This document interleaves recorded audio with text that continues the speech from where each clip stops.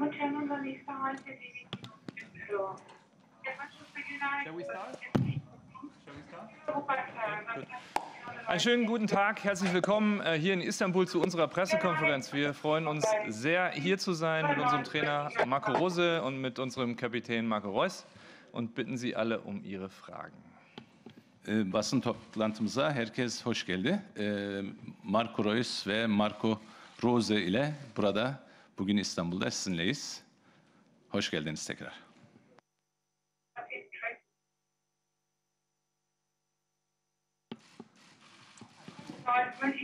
Mach einfach laut, ich weiß jetzt nichts anderes. Hier ist niemand mit dem Wir müssen Mikro. einmal hier rüber. Wir müssen da vorne einmal rüber. Do, Sorry? Hä? do we have a mic for Äh, them? Vodafone or- Stadium. Stadium Besiktas. Adres Besiktas. Beşiktaş. Stadium. Okay. Da und rechts. Thank you. Okay. Mikrofon kommt. So, wunderbar, ich bin auf Sendung.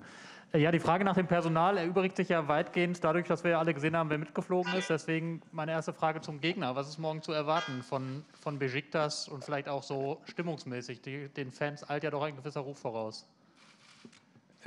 İş Esma. Ee, evet, e, personel e, açısından önce sormak istiyorum. Tabii uçakta e, gelenleri gördük. Tabii Beşiktaş'tan beklentiniz nedir? Yarın neler ol- olacak? Hallo? Ja, also wir sind darauf vorbereitet. Wir wissen, dass es hier eines der lautesten Stadien in Europa ist. Wir wissen auch, dass morgen das Stadion nicht ganz voll sein wird. Trotzdem wird die Stimmung, denke ich, großartig sein. Äh, Das sollte aber was sein, was uns vor allen Dingen natürlich ähm, anstachelt, was wir positiv für uns nutzen wollen. Ansonsten erwarten wir ein Champions League-Spiel, ein, äh, ein Champions League-Gegner mit Besiktas, äh, mit viel Qualität. Ein Gegner, der sehr aggressiv verteidigt, äh, Qualität nach vorne hat, mit Pjanic jetzt nochmal einen herausragenden Fußballer dazu bekommen hat. Und dementsprechend äh, ja, wird das morgen ein hartes Spiel für uns, was wir äh, gewinnen wollen. Evet, biz tabii maç için hazırız. Ee, İstanbul Beşiktaş Stadyumu tabii ki dünyanın en büyük stadyumlarından biri. Çok e, gürültülü, patırtılı olacak. Ee, agresif e, bir maç olacak. Ee, heyecanlı bir maç olacağını e, olacağından eminim. Ee, tabii ki e, Beşiktaş e, defansta çok agresif oynuyor. Biz buna hazırlıklıyız. İşte Şampiyonlar Ligi'ne e, layık bir e, maç sergileyeceğimizden eminim. Jürgen Horst. Die Champions League beginnt. Äh, Mit welchen Erwartungen, mit welchen Hoffnungen, mit welchen Aussichten geht ihr in diese Saison? Şampiyonlar Ligi'ne e, hangi üm- ümitlerle başlıyorsunuz? E, neler, beklentileriniz nelerdir Şampiyonlar Ligi'nden? Ja, der, der dritte Wettbewerb, in dem wir jetzt äh, reinstarten. Äh, Pokal sind wir eine Runde weiter. Äh, Bundesliga sind wir anständig gestartet, denke ich. Ähm, inhaltlich wissen wir, dass wir Dinge verbessern wollen. Und jetzt kommt die Champions League dazu. Dafür haben die Jungs gestern, äh, letztes Jahr noch einen hervorragenden Endspurt hingelegt, weil sie ähm, äh, diese Spiele haben wollten. Und jetzt haben wir sie und jetzt wollen wir sie natürlich auch nutzen mit äh, allem, was wir haben. Bedeutet, wir wollen erfolgreich sein. Wir wollen in dem Wettbewerb ähm, die Saison unsere, unsere eigene Geschichte schreiben und dafür heißt morgen von Anfang an äh, hier dann da zu sein. Patrick Berger. Evet, ein Moment. Sorry, sorry. E, evet, e, tabii beklentilerimiz çok. E, oyuncularımız e, çok azimlidir. E, yani e, Almanya'da ligde de iyi bir başlangıç yaptık. E, şimdi tabii ki Şampiyonlar Ligi'nde de e, ilk maçımızla e, iyi bir başlangıç yapacağımızdan ümitliyim. E, e, ekibim çok azimli ve e, sezona bu sezonda tarih yazmayı ümit ümit ediyoruz. Jo, hallo, vielen Dank. Ich habe tatsächlich zwei Fragen. Eine organisatorische, vielleicht erstmal an, an Sascha. Ich sehe gerade, dass äh, das Logo auf der Brust fehlt. Ähm, gab jetzt im Vorfeld auch die Fragen, mit welchem Cup-Trikot ihr aufläuft. Kannst du uns da vielleicht A mitnehmen? Und dann äh, Frage an Marco. Marco, du hast natürlich auch mitbekommen, dass es Kritik aus Bayern gab äh, von Hasan Salihamidzic. Wie kam diese Kritik bei dir persönlich an und wie heiß und motiviert bist du, vielleicht morgen auf großer Bühne auch zu zeigen, dass du weiterhin Führungsqualitäten hast? Vielen Dank. Zu Nummer 1, lasst euch überraschen. Und zu Nummer 2 gebe ich einfach mal weiter. Bitte. Ee, İş übersetzt mal kurz. Ee, e, e, formalarınızda bir logo eksik. Ee, onunla ilgili özel bir durum mu var? Onun dışında ikinci sorum da şudur Marco'ya. İşte sana yönelik bazı eleştiriler oldu. Ona ne gibi bir cevap vermek istersin? Seni dinliyoruz. Danke. Ähm, ja, natürlich habe ich es mitbekommen, aber also hat mich jetzt im Wesentlichen, muss ich sagen, nicht berührt. Ähm, ja, mehr gibt es dazu auch nicht zu sagen. Bu eleştiriler bana pek e, dokunmadı. Yani ben onu kale bile almadım. Onun için fazla da bir şey demek istemiyorum bu konuyla ilgili.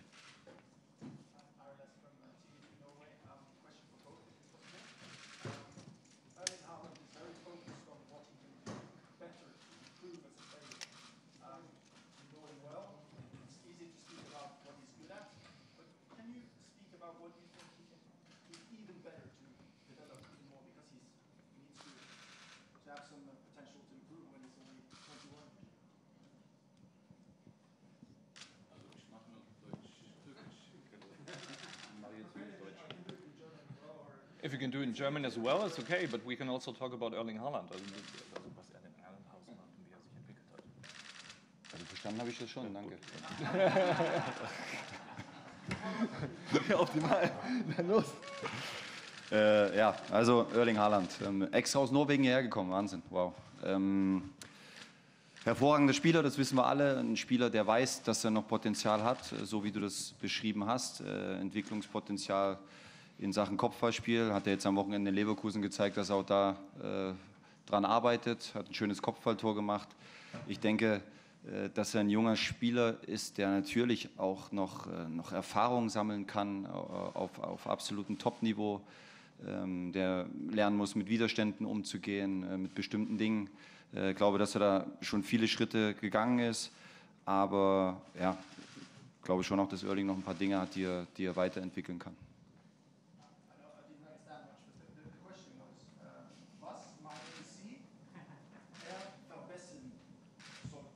Das habe ich dir gerade gesagt. Ja.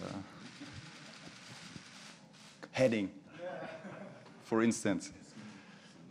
And um, uh, yeah, being active all the time in the game, um, uh, working against the ball, being active with the ball.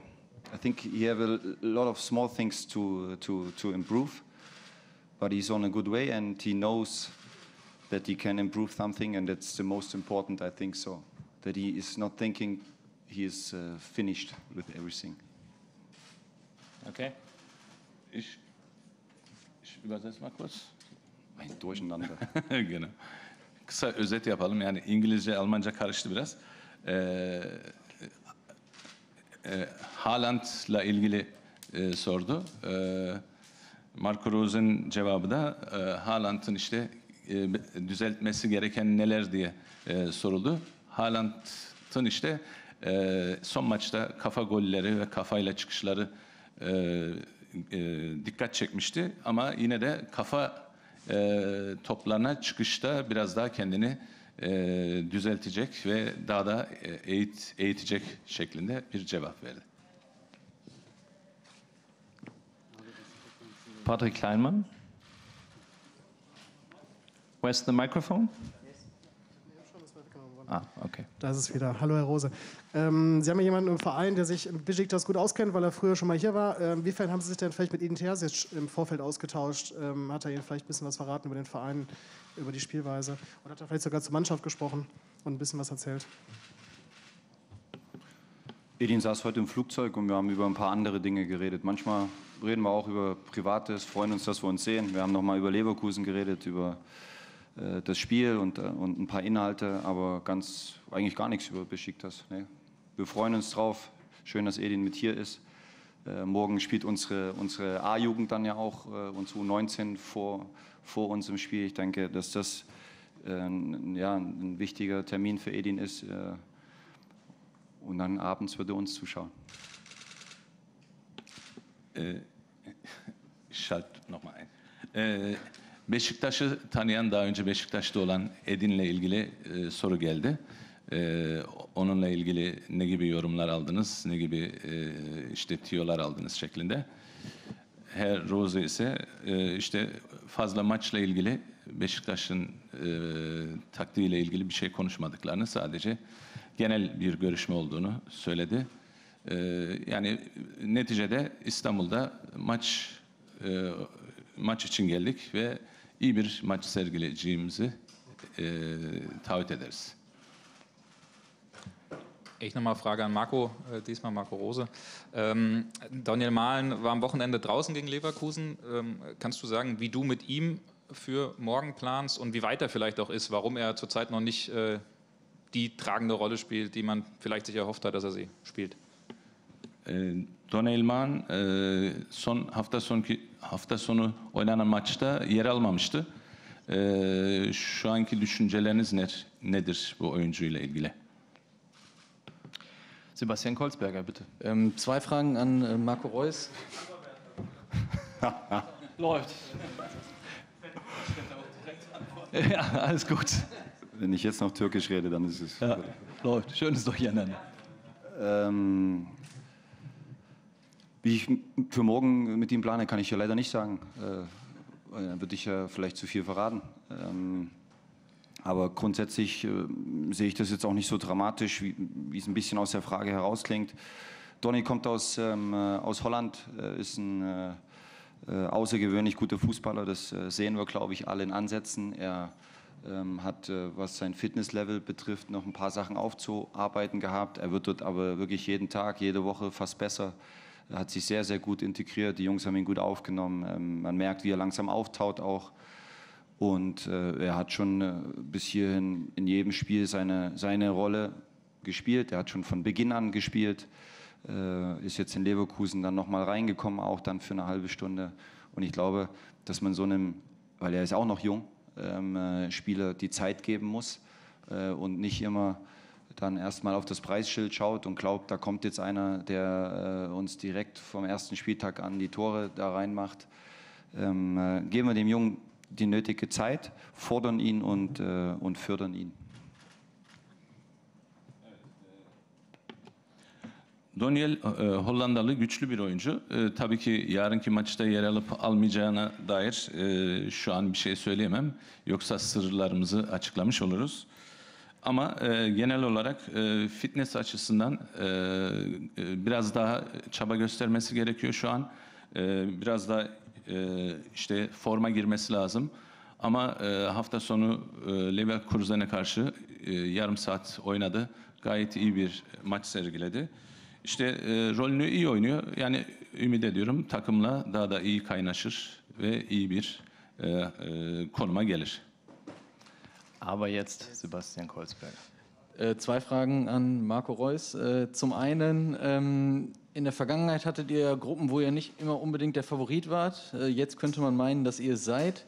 Ähm, ist es da der Anspruch, als, auch als Gruppenerster durchzugehen? Ist es einfacher oder schwieriger, diese Favoritenrolle inne zu haben? Und die zweite Frage, nach dem Spiel in Leverkusen äh, hat es ja doch deutlichere Worte gefunden, dass ihr drei Gegentore kassiert habt oder in letzter Zeit mehrere Gegentore kassiert habt. Ähm, was habt ihr dagegen getan, dass es vielleicht morgen anders aussieht? Achso, ja. Ee, Evet, geçmişte e, takım olarak e, Şampiyonlar Ligi'nde pek e, favori konumda değildiniz. Bu sefer daha favori bir konumda e, takımınız. Bununla ilgili ne gibi zorluklar e, sizi bekliyor? Yani e, bu sizi daha da zorlayacak mı? Bu birinci soru. E, ondan sonra e, die zweite Frage, nochmal ganz kurz. Die zweite Frage war, ähm, beim Spiel in Leverkusen hat Dortmund drei Tore kassiert und was Sie jetzt in dieser Woche dagegen getan haben, dass es gegen Besiktas nicht so sein Evet. wird. Ee, evet, ikinci soru da e, hafta sonu Leverkusen'e karşı 3 gol yediniz. Bununla ilgili ne gibi önlemler aldınız? Neler değişecek maçınızda? Jetzt? Ja? Okay, top. Ähm, ja gut, ähm, wir konnten jetzt ja jetzt zwischen Leverkusen und Besiktas jetzt ähm, nicht so viel trainieren. Heute jetzt die, die öffentliche Einheit. Ähm, ansonsten, glaube ich, haben wir das ähm, schon nach der Partie auch gesagt, dass wir ähm, die Tore einfach zu, zu einfach bekommen. Aber das betrifft die, die gesamte Mannschaft, weil wir da einfach in der Absicherung, in der Staffelung einfach ähm, ja, zu große Lücken haben. Und ähm, ja, wir sind, wir sind guter Dinge, dass wir, dass wir das ändern ähm, müssen, ähm, weil Besiktas auch eine starke, starke Mannschaft ist, die nach Ballgewinnen ähm, auch schnell nach vorne spielen kann und ähm, da sehr, sehr gefährlich ist. Und was war die erste Frage? Sorry. Äh, erste Frage, in der Vergangenheit wart ihr ja nicht immer Favorit in der Gruppe. So. Jetzt wird man, Ja, ehrlich gesagt ist mir es völlig egal, ob man Favorit ist oder nicht. Im Endeffekt ähm, sind das alles Champions League-Gegner und ähm, ja, wir haben natürlich immer das, immer das Ziel, jedes Spiel zu gewinnen. Ähm, und wir als Borussia Dortmund haben auch das Ziel, ähm, die Gruppe zu überstehen und ähm, natürlich dann auch als Erste. Aber wir fangen jetzt erstmal morgen mit dem ersten Spiel an und ähm, dann werden wir schauen. Evet, birinci sorunuza yönelik e, yani e, o bizi fazla ilgilendirmiyor aslında yani e, favori olup olmamamız. E, biz maçımıza bakacağız. Yarın ilk maçımızı oynayacağız. İşte iyi bir e, Şampiyonlar Ligi olacağını ümit ediyoruz. İkinci soruya gelince e, tabii formasyonlarımızda e, bazı açıklar e, mevcut. E, bunu fark ettik. E, amacımız bu açıkları kapatmak. Tabii yarınki maçta Beşiktaş'a karşı da e, güçlü bir takım olduğu için bunu e, tabii ki sağlamamız gerekiyor. Bunu biliyoruz, bunun farkındayız. Jürgen Kors. Eine Frage an den Trainer. Die Kollegen in Dortmund haben berichtet, dass Roman Bürki nicht mit hergeflogen ist, sondern Luca Unbehauen. Ist äh, Luca damit eigentlich dritter Torhüter im Kader jetzt oder welche Gründe spielen da eine Rolle?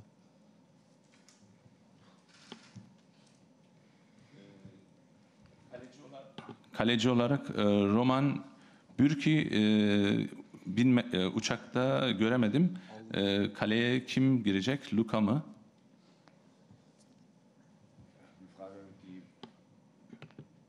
Eine Frage, ähm, ähm, die für mich jetzt aus dem heiteren Himmel kommt, weil wir haben zwei Torhüter. Nummer eins ist ähm, äh, Craig und äh, Nummer zwei ist äh, Marvin. Und dann haben wir gemeinsam im Trainerteam entschieden, äh, wer kommt mit, was macht Sinn. Äh, Roman äh, arbeitet hervorragend äh, zu Hause. Trotzdem kennen wir die Gesamtsituation bei unseren Torhütern. Und Hut ab, wie die Jungs das ähm, äh, untereinander meistern, wie sie sich verhalten. Äh, Roman hat sicher äh, andere Ansprüche, ähm, äh, möchte gerne im Tor stehen, das ist klar. Er ist jetzt trotzdem in, in Dortmund geblieben. Äh, wir schätzen ihn sehr, die Jungs schätzen ihn als Teamkollegen, er verhält, verhält sich hervorragend. Und es gibt da keine Reihenfolge in irgendeiner Form, möglicherweise. Und es kann ganz schnell gehen. Ähm, äh, äh, ja, brauchen wir ihn dann auch. Und äh, dann sind wir froh, dass wir so einen Sportsmann und, und vor allen Dingen die Qualität dann natürlich auch im Kader haben. Aber morgen sitzt nur einer auf der Bank, einer steht im Tor. Und äh, den jungen Kerl äh, hinten dran, den haben wir hierher dann noch mitgenommen. E, yani pek beklemediğim bir soru ama e, neticede birinci kalecimiz e, Greg, ikincisi de e, Marvin. E, o yüzden hani Roman evde kaldı. E, e, çalışmaya tabii devam ediyor.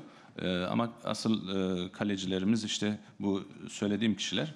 Roman da tabii ki çok hırslı e, ve e, illaki onu da göz ardı etmeyeceğiz.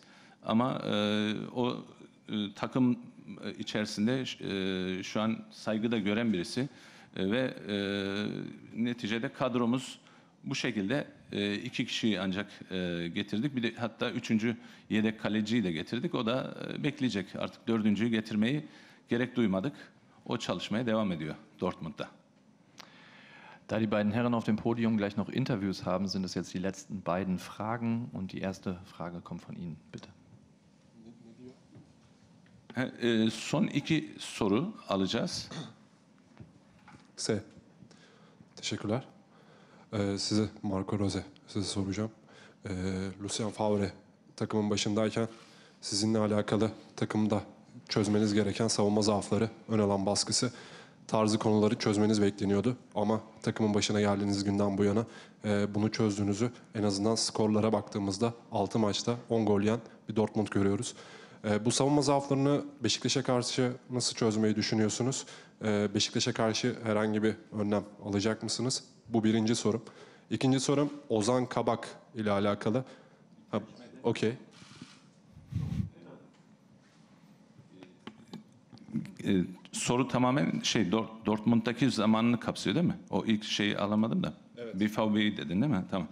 Also, äh, ähm, seitdem Sie bei Dortmund sind, äh, sind halt äh, in der Abwehr Lücken. Äh, und äh, wie stellen Sie sich vor, diese Lücken äh, zu füllen, äh, beziehungsweise diese Schwächen äh, äh, abzuarbeiten? Weil Sie haben in den letzten sechs Spielen äh, zehn Tore kassiert und äh, gegen Besiktas müssten Sie ja irgendwelche Maßnahmen schon diesbezüglich sozusagen schon bedenkt haben. Wie werden Sie halt diese Formation auf, sozusagen lösen? Diese Schwächen in der Abwehr.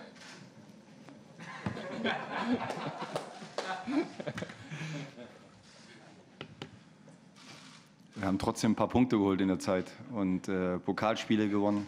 Ähm, aber es ist richtig, wir hatten die Frage ja vor uns schon und natürlich äh, stellen wir uns der Nummer. Wir sind äh, nicht äh, zufrieden, äh, gar, ganz und gar nicht. Äh, Es macht uns sogar sauer. Ähm, wir haben das Leverkusen-Spiel aufgearbeitet, wir haben Videoanalyse gemacht. Marco hat es gesagt, wir hatten natürlich wenig Zeit zum Trainieren, haben gest- gestern trotzdem am Platz dann auch nochmal über unser Spiel mit dem Ball und da beginnt schon unser Spiel gegen den Ball, dann auch äh, angesprochen.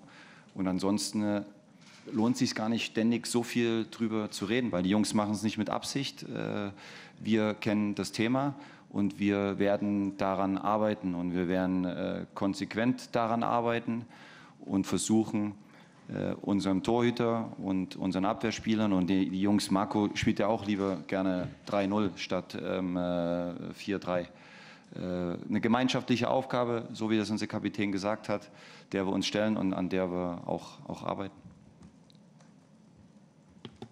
Evet, e, neticede e, yine de puan aldık son zamanlarda. E, tabii bu açıklardan dolayı memnun, memnun değiliz. E, bununla ilgili işte neler yapıyoruz? Videoları izledik son maçlarda. İşte bununla ilgili neler yapabiliriz? Açıkları nasıl kapatabiliriz diye. E, yani bunun üzerine ama fazla da konuşmak istemiyorum. Neticede adamlarımız, kadromuz e, iyi oynuyor. Yani bunlar da nihayetinde insandır. Hata olabilir. Ee, ama bunları fazla büyütmeye gerek yok. Adamlarımız gayet e, pe- performansları iyi bir şekilde çalışıyor e, ve bunları e, çözeceğimizden eminim. İkinci sorumu soracağım. Ee, Türk basında merak ediliyor. Alman gazeteciler birçok soru sordu. İzin verin lütfen. Soruyorum. Bitte? Also die deutschen Journalisten haben sehr viele Fragen gestellt. Jetzt Er kann, er kann gerne noch eine Frage stellen. Es ist dann leider die letzte, weil wir gleich Training haben. Yani Letzte e, vaktimiz vaktimiz dar çünkü antrenmana çıkacağız o yüzden. ama Türk basını merak ediyor o yüzden soruyorum. Ozan okey. Kabak'la alakalı masaya oturduğunuz konuşuluyor ama e, bu transfer gerçekleşmedi. Schalke 04 e, bu transfer yani sizin Michael Zorc e, bu ismi takıma katılmaması gerektiğini iletildi. E, en azından Türk basında böyle yazıldı. Ozan Kabak'ı siz istemiş miydiniz? Also äh, die türkische Medien, Medien möchten halt gerne wissen, ob sie mit Ozan äh, zusammengekommen sind, ob sie Interesse, Interesse an ihm haben. Und äh, Michael ilgili... Michael Zorc istiyor. Ha? Achso, achso, Michael Zorc äh, will, will Ozan haben und äh, sie nicht. Ist das so richtig?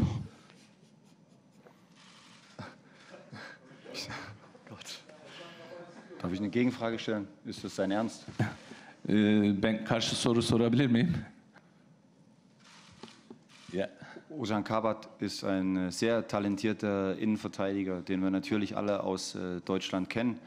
Und ich glaube, jeder deutsche Verein, ähm, der äh, weiß, dass er einen Verein sucht, beschäftigt sich möglicherweise mit dem Spieler. Also unsere Scouting-Abteilung äh, weiß natürlich, wer das ist.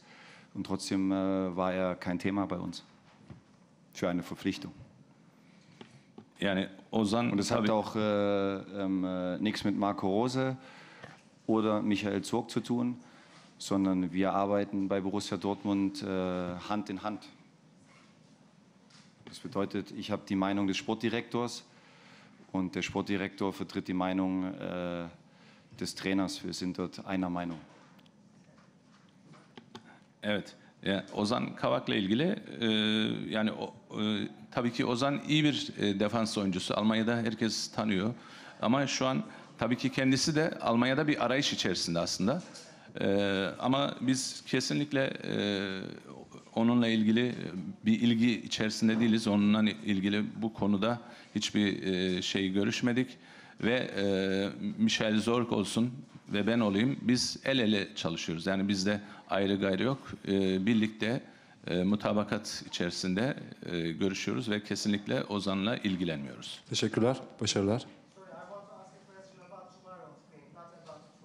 But the really, really last one, because our training session starts in three minutes, okay? And this one is not a head to head interview between you and the player. So it's the last question for you, okay? Thank you. Gürler Akgün Bein Sports Türkiye. Şunu sormak istiyorum öncelikle hocaya. Beşiktaş'ın önemli oyuncuları var. Pjanic, Batshuayi ve Raşit Gezal. Onlar için özel bir önlem almayı düşünüyor mu? Çünkü çok formdalar. Yorumu nedir? Ve Royce'a şunu sormak isterim. E, Timo Werner burada Leipzig karşılaşmasında stadyumun atmosferinden dolayı e, maçtan çıkmak durumunda kalmıştı. E, bununla alakalı bir yorumu olur mu? Yarın buradaki atmosfer onları nasıl etkiler? Teşekkürler. Äh, Also zuerst einmal die drei Spieler, die er aufgezählt hat, Michel Batshuayi und so weiter. Ob Sie diesbezüglich schon... Äh, äh, und so weiter. Genau. Und so Okay. weiter, oder? Ee, şu f- futbolcuların tekrar adını söyler misin? Ba e, Batshuayi, Raşit Gezal. Gesal und? Pjanic. Okay. Äh, o, äh, Ich weiß Bescheid. Okay, du weißt Bescheid. Was für Maßnahmen haben Sie schon getroffen diesbezüglich? Äh, oder was werden Sie auf dem Spielfeld gegen diese Spieler für Maßnahmen treffen? Und die, soll ich auch schon die zweite Frage stellen? Und die zweite Frage geht direkt an dich. Äh, und zwar, äh, du bist ja in Leipzig aufgrund der Atmosphäre im Stadion vom Feld gegangen. Und hier in Beşiktaş wird die Atmosphäre auch ziemlich laut sein. Äh, können wir davon ausgehen, dass du hier auch vom Feld gehen wirst? Ja. Also, also es geht nicht um mich, sondern um Timo Werner. Achso, Timo. Timo Werner. Ja. Der hat hier gespielt und dann ist er vom Platz gegangen, weil es zu laut war. Achso, Entschuldigung. Timo Werner'ya sormuş. Değil mi? Timo Werner'yle ilgili. Timo Werner...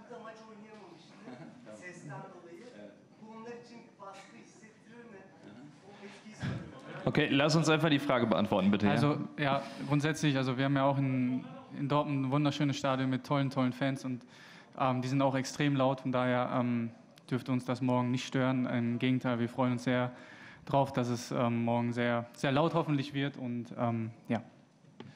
Ee, biz Dortmund'da bu tür atmosferlere alışığız. Bizim stadyumumuz da gayet e, gürültülü, patırtılı oluyor. E, yani o atmosfere alışık olduğumuz için e, hiç sıkıntı yok bizim bizim için. Ja, also wir haben den Gegner natürlich analysiert und haben, äh, haben Respekt vor Besiktas, vor der Qualität. Die genannten Spieler, aber nicht nur sie. Nkudu über links auch ein starker 1 gegen 1 Spieler. Wir wissen schon, was auf uns zukommt und wissen aber natürlich auch, was wir können. Ähm, äh, wir haben auch Qualität. Wir sind sehr, sehr offensiv stark und das wollen wir natürlich morgen dann auch auf dem Platz zeigen. Okay. Yani biz de tabii ki e, rakibimizi analiz ettik. O sadece sizin saydıklarınız değil, diğer bazı güçlü oyuncular da var. Onlara biz hazırlıklıyız. Tabii ki e, biz de e, atak yapacağız, at- e, açık oynayacağız ve iyi bir maç sergileyeceğimizden eminiz. Vielen Dank für die Teilnahme an der Pressekonferenz und wir sehen Sie alle beim Training. Bis gleich. Tschüss.